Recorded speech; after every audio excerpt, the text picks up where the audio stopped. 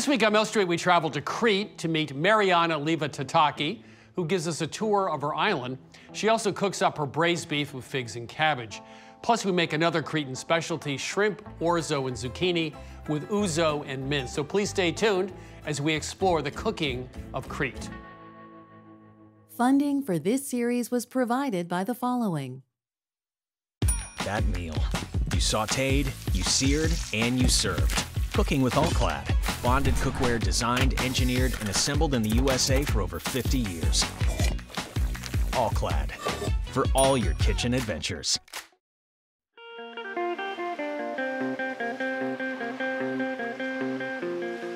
Today we're in Agia Kyriaki at almost the exact spot our family restaurant used to be for, you know, 30 odd years. It's my favorite view. I've spent every single evening of my childhood here.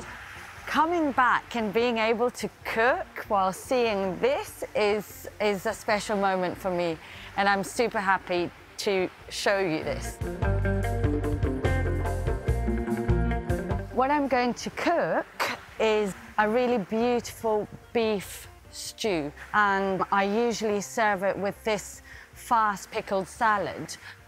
So I get my pot, carefully place it over medium heat and get a little bit of olive oil. And I'm just going to add the beef to brown it. In the meantime, I'm going to cut tomatoes up. Your recipe calls for a can of tomato, but I'm going to use fresh tomatoes because they are amazing at the moment. So it's just a little change that I can't really resist. So just going over and dicing them. Okay, so tomatoes are chopped. I'm just going to check the beef. Beef still needs a few minutes, so I'm just going to transfer my tomatoes into a bowl and continue with my figs. I've got really lovely dried figs that are from here and I've also got some fresh ones. So yes, the recipe doesn't say use fresh figs. We are in Crete and the fig trees are overloaded at the moment. So I'm just going to do it. As a lover of good food and ingredients, I cannot not use a few red fi fresh figs in this recipe. So, very roughly chopped. As you can see, they're just absolutely amazing. They're like honey inside. I think they will add a really lovely texture and freshness and lift to our stew. I also have my dry figs because they add this really nice richness to the stew. And usually you would make it with dry figs. Figs are ready, tomatoes are ready, juniper berries are here. Last check on the beef. Almost there. So here we go.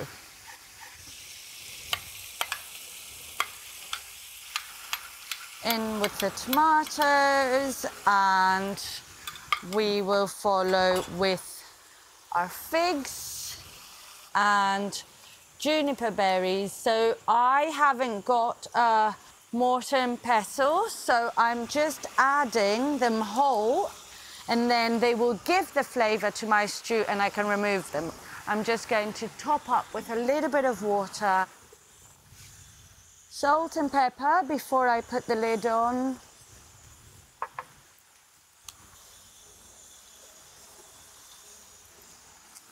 And that's it. Ready. So we'll leave this a couple of hours, low heat, Be patient, let all those ingredients mingle, talk, and create an amazing flavour.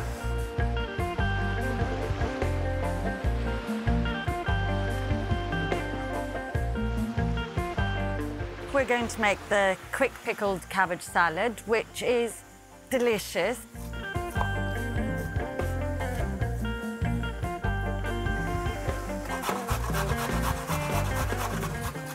I love grating uh, vegetables for salads because you create kind of very thinly grated vegetables, so your dressing really coats every bit of them perfectly.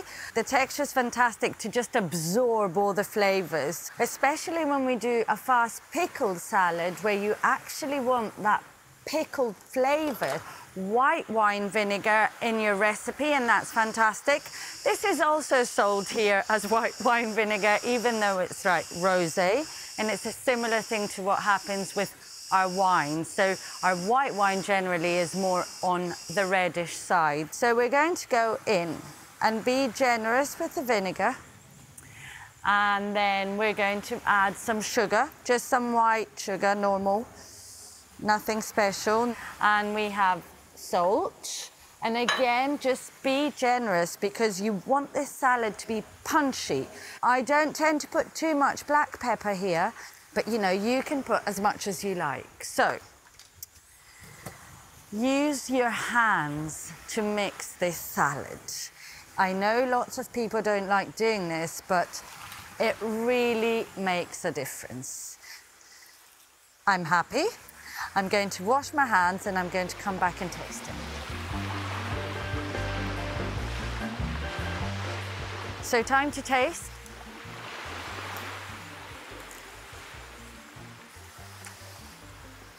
Mmm. It's delicious, it's amazing. The sugar's enough, the salt's enough. I'm really, really happy with it. I'm going to put it to one side. And I'm going to add the mint leaves bit later, just so they stay lovely and green. Our stew is almost ready, so maybe needs another half an hour. So what I'm going to do now is I'm going to prepare the carrots. So simply peel them and then we are going to cut them in half lengthways and then we're just on an angle slice them into pieces. So carrots in the stew is smelling incredible. And that's it. So placing the lid on again and I think we'll be eating in about half an hour.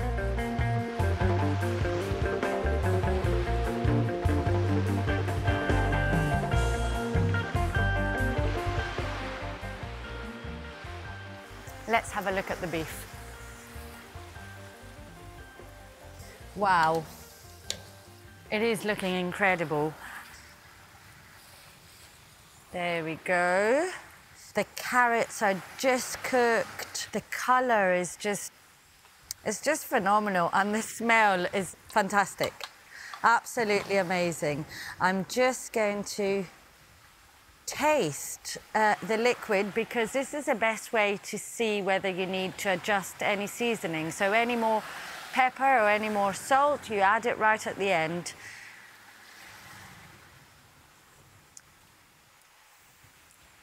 Fantastic. I promise you, it's fantastic. Oh. This is my recipe of braised beef with dried figs and fast pickled cabbage salad. This is a very special place for me to cook and I hope you enjoy it and you love it as much as I do.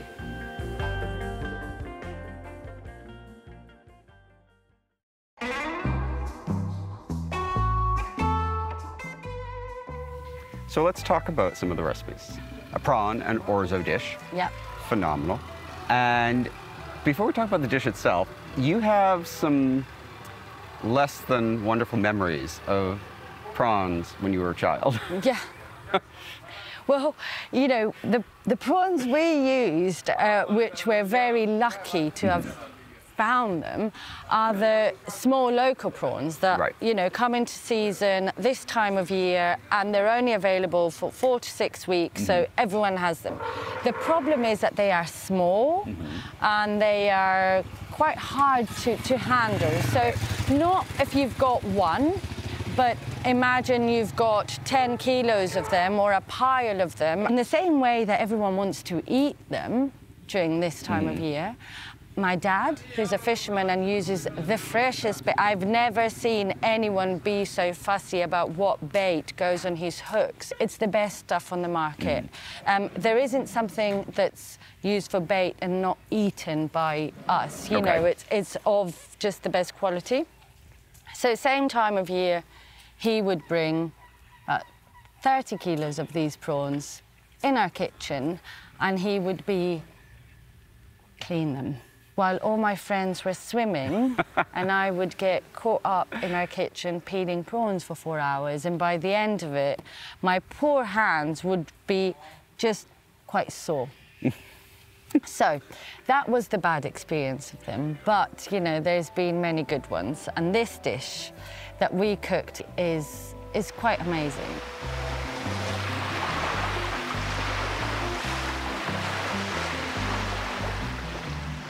So what do I do? So we'll just put the, um, The shells in the there? shells in here straight away. Since Okay. we're cooking outdoors, we just have to be a bit more efficient. Okay. Um, so shells in here, Okay. flesh in here, and I'll show you how we do it. Okay. So you pull up the head off, Head off.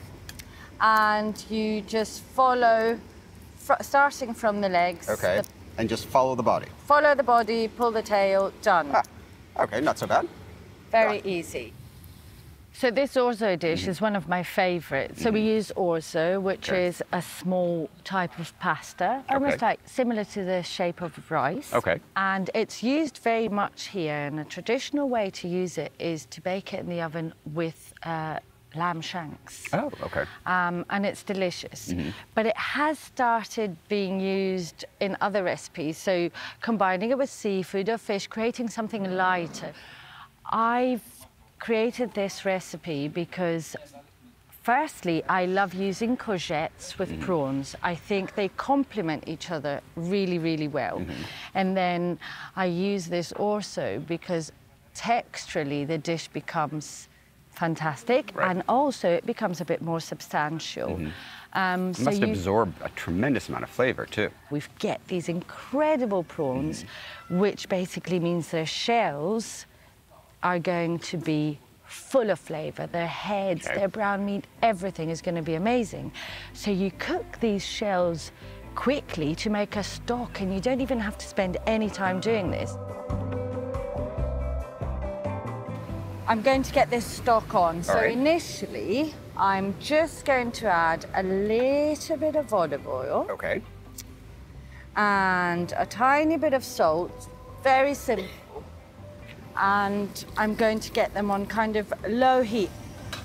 But you can almost drink the stock without doing anything else. Right. You, know, you make a stock, you drink the stock, and that's enough. It's so lovely and Mm-hmm. flavoursome and just smells of the sea. And then you use this stock to cook your orzo. Mm-hmm. So yes, the orzo absorbs and cooks All hundred that percent shrimp using this flavor, that's lovely. wonderful. So and even though the flavors of the prawn and the courgette are delicate, Mm-hmm. they work really well together, and the flavor comes from the stock really. And also, you know, I finish it off with lots of freshly chopped mint, which is a really Mm. Greek thing. So you get this fantastic aroma from from the fresh mint, and then of course I add a little bit of brandy, and I add a little bit of ouzo, which again are flavors that one will give the richness Right. to a dish that has quite simple flavors. Mm-hmm. And the other one is almost like just making it the perfect dish for seafood, you know, having the ouzo and Right, the aniseed. right. So it's a dish I love. You can make it 100% vegetarian. You can use mussels or you can use tuna or salmon or you know mm. whatever whatever's available and is fresh and is good. You know, it's more like understanding the method Right. and then you can be as creative as you like.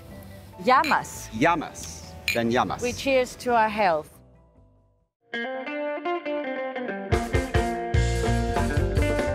So we're going to take one of Marianna's recipes and really try to bring out all the flavors that we can. We've got shrimp, orzo, we've got some zucchini, we've got some mint, and we've got some ouzo for some really lovely notes of star anise, and it really will bring out some of our ingredients. But first, we've got to talk about shrimp. In Crete, we were using pink prawns, and pink prawns aren't exactly easy to find. So here we have 21 to 25 count shrimp, and that means that there's roughly 21 to 25 shrimp per pound. So I've shelled a handful of these, and I wanna just start a shrimp stock. So with these shrimp shells, I'm going to crank up my heat just a little bit and add a tablespoon of oil to my pot. Don't need a ton here, but I want enough to get my shrimp shells bright and pink. So I'm gonna just toss them straight in here. If they're stacking up, it's okay. And then as they heat up, we're just going to stir them a couple times.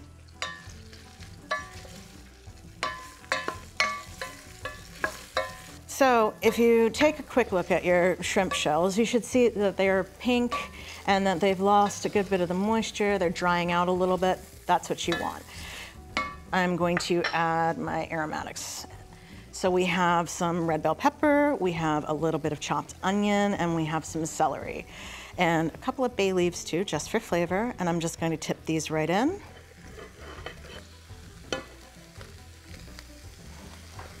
I'm also gonna add just a little bit of salt, about a quarter teaspoon, not a ton. I'm gonna stir it up again. We wanna take it to just the point where our vegetables are sweating just a little bit. We don't want them wilted, we just want them letting off a little bit of their liquid inside. Once that happens, we are going to introduce some brandy into this stock. And we've got even a little bit of browning on the bottom here. And that's no reason to be nervous because browning is flavor. What I'm gonna do is I'm going to use some of this lovely brandy. It smells sweet, it smells lovely. And I'm going to use it to deglaze my pan and get all these little brown bits up. And I'm gonna cook it until it's almost gone.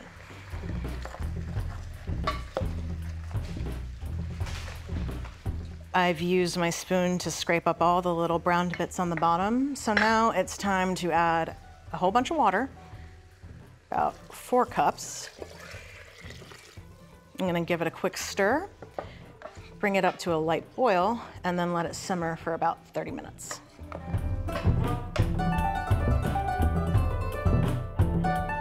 So it's been about 30 minutes and my stock has simmered down into this beautiful smelling liquid. So I'm going to use a fine mesh strainer over a big old cup and just pour this out. I want to get every last little bit in there though. And I don't want to lose any of the stock. So I'm going to press down on it just to get all the extra liquid out of the shrimp shells and the vegetables because all of this is really, really flavorful base for our orzo. You should have about three cups of liquid to cook your orzo in. And now I'm gonna prep my zucchini. So I have some small, medium-sized zucchini. I've already scooped the seeds out. And I'm just gonna cut these crosswise into little bitty slices.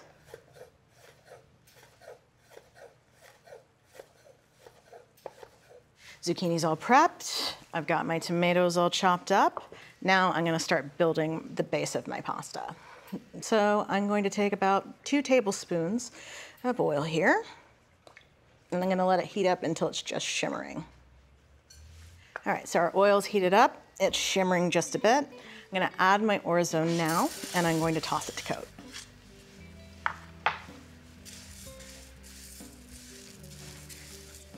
All right, now that our orzo is all coated and toasting up, it's time to add the zucchini.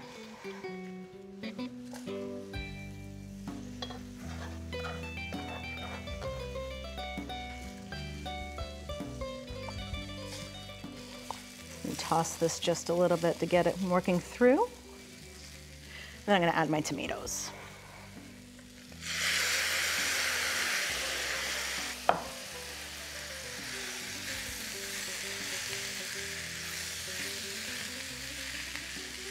This is the time that we're gonna add a little bit of fennel seeds for that beautiful flavor. toss it around a bit. And then I'm going to add about a half a teaspoon of salt just to get my vegetables sweating out, and a quarter teaspoon of pepper. There we go. I'm gonna toss this around until my vegetables start to let some of their moisture out. And then I'm going to essentially start building this like a risotto.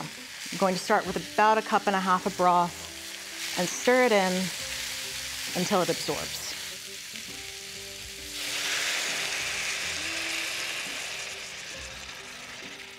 So this is gonna take about five or six minutes to absorb, and then we can add a little bit more broth, but let's let this go for a bit. All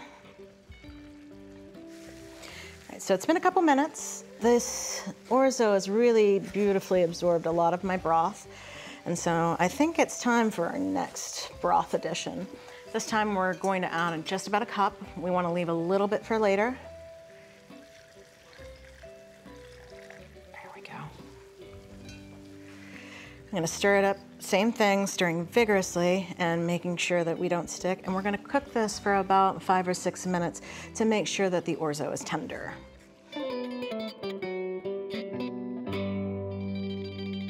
All right, so this has been cooking for about six or seven minutes. It's still a little bit soupy, that's fine, but my orzo is nice and tender. So this is the time where I'm going to introduce the last of my broth. I'm only gonna put about a quarter cup in right now. So if you have a little bit left over, that's okay. Give it a little stir.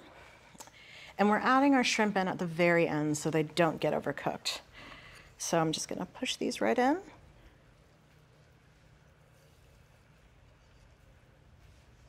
I'm going to give them a little stir until they're cooked through. And there's some easy tricks to remember if your shrimp is cooked or not. C is cooked, O is overcooked. We want to make sure that these guys get pink and beautiful and cooked through. Should only take about three minutes. All right, so my shrimp is cooked through. It's nice and opaque, lovely little C shape. So I'm going to take it off my heat and add our last ingredients. So we have a little lemon zest for brightness. I'm gonna stir that in. We are going to add some ouzo, and ouzo is a anise flavored liqueur, and it is really going to bring out the notes of fennel in this dish.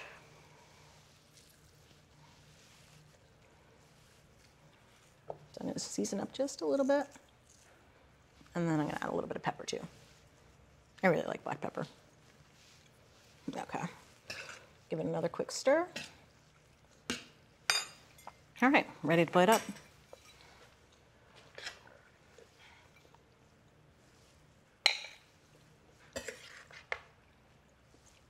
That's a healthy bowl right there.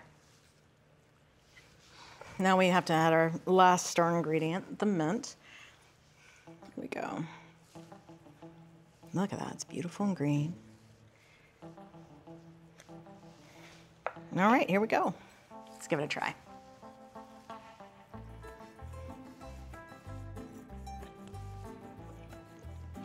There are so many beautiful, complex flavors going on in here. The ouzo really does highlight the fennel, and the mint just adds such a lovely brightness. You can get this recipe and all of the recipes from this season of Milk Street at milkstreettv.com, and uh, I hope you enjoy. Cheers. Funding for this series was provided by the following. That meal.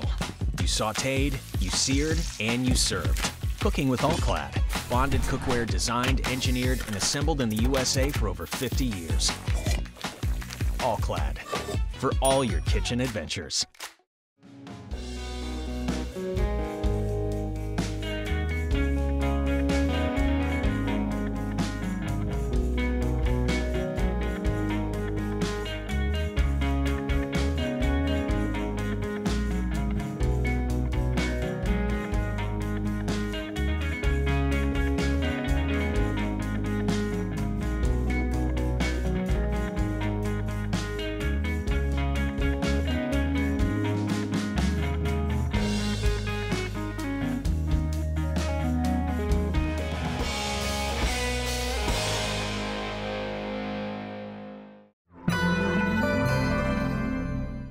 Hey everybody, Christopher Kimball here at Milk Street, and thanks for watching us on YouTube. By the way, please subscribe to our channel and also click the bell for updates uh, as we roll out new shows. By the way, all the recipes from our current TV season are available for free at our website, which is 177milkstreet.com. That's 177milkstreet.com. Thanks and enjoy our shows.